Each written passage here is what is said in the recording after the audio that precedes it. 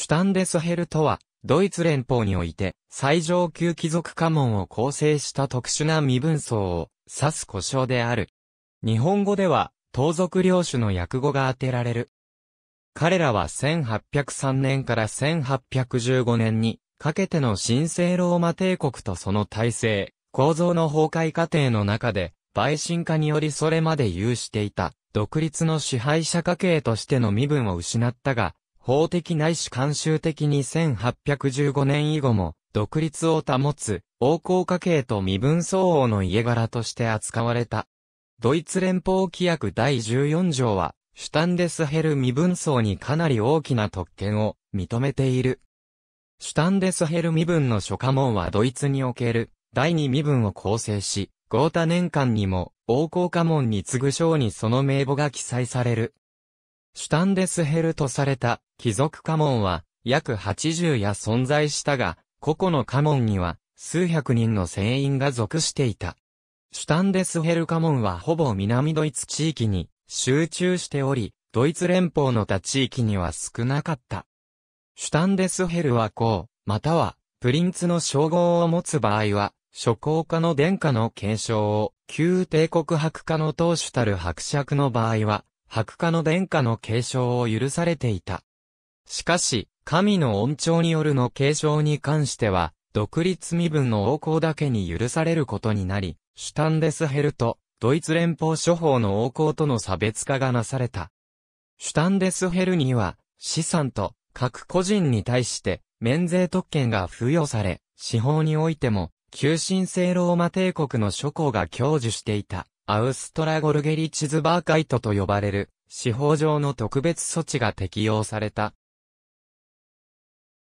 ドイツでは1918年まで、世襲の領主層が国家、地域の数要な地位を占めた。シュタンデスヘルは、ドイツ諸法の上院に、世襲の議席を有していた。プロイセン貴族院やヘッセン対抗国議会の上院は、その代表的な例である。シュタンデスヘルの領土は、必ずしも新しく創設された両方の国境の枠に収まるとは限らず、複数の両方に領土がまたがった結果、複数の国家の貴族院議員議席を所有する場合もあった。例えば来人間公家の当主は、ヘッセン対抗国とバーデン対抗国の2カ国の貴族院議席を有していた。シュタンデスヘル身分層の男子は兵役を免除されていたが、職業軍人となる場合は、通例は、少尉の階級からの任官となるという優遇制度があった。シュタンデスヘルは、各地域において、かつての支配領域であり、現在の領地である地域に対する司法権と行政権を保持していたが、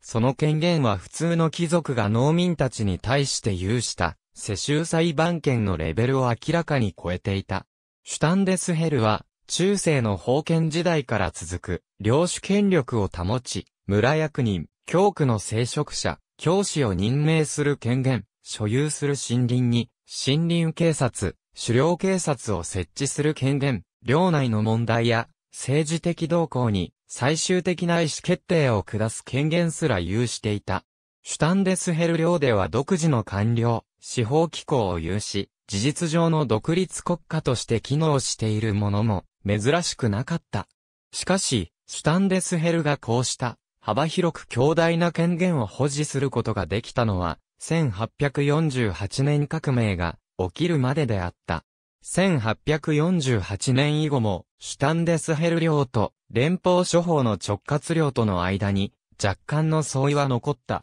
とりわけ、プロイセン王国政府は、シュタンデスヘルの領主権力の行使に対して寛容な姿勢をとっていた。バーデン対抗国は、領土の約3分の1がシュタンデスヘル領であり、対抗政府は中間権力の存在を嫌って、シュタンデスヘル権力の制限に積極的だった。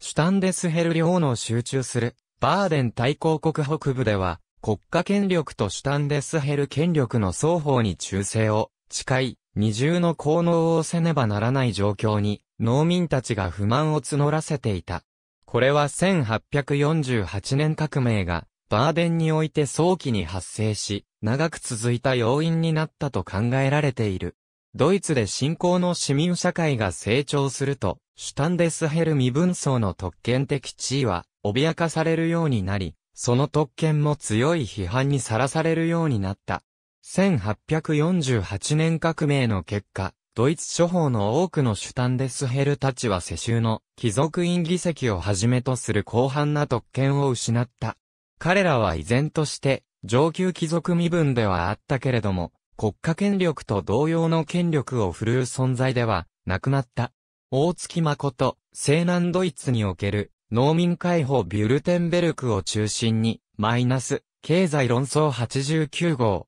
1962年。ありがとうございます。